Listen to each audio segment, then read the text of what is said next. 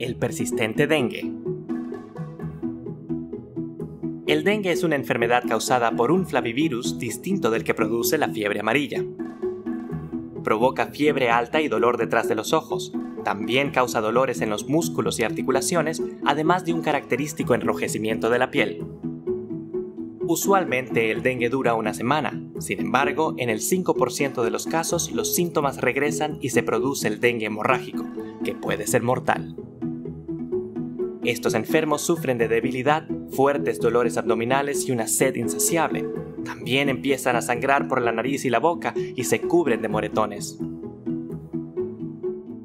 Se conocen cinco tipos del virus del dengue, la infección por uno de ellos no genera inmunidad contra los otros. Por tanto, una persona puede enfermar hasta 5 veces en su vida. Cada vez que una persona se infecta de nuevo, aumenta su riesgo de desarrollar dengue hemorrágico. El virus es transmitido por 80 especies de mosquitos, pero sus principales vectores son el Aedes aegypti de origen africano y el Aedes albopictus de origen asiático.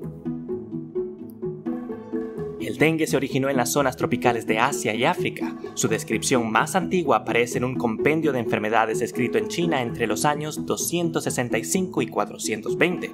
Ahí se le llamaba veneno del agua y ya se sabía que estaba asociado a insectos voladores.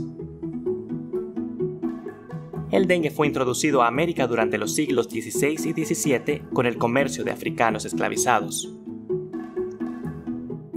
Las primeras epidemias de dengue en América ocurrieron en 1635 en las islas de Martinica y Guadalupe.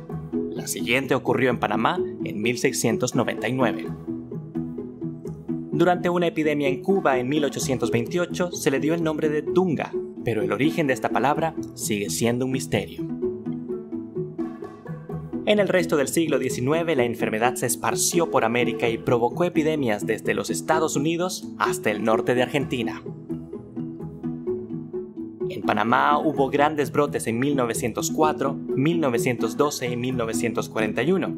Desde entonces, el número anual de casos ha sido muy variable, desde solo 15 en 1993 a más de 7.000 en 2009.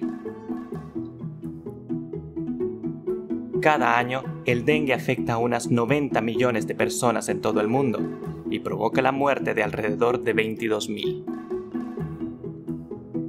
Desde 2016 hay una vacuna disponible contra el dengue. Sin embargo, aún se considera que la mejor manera de combatir la enfermedad es controlando las poblaciones de mosquitos. En mayo estamos hablando de enfermedades virales. No te quedes por fuera de la conversación. Envíanos tus interrogantes usando el hashtag Biomuseo Viral.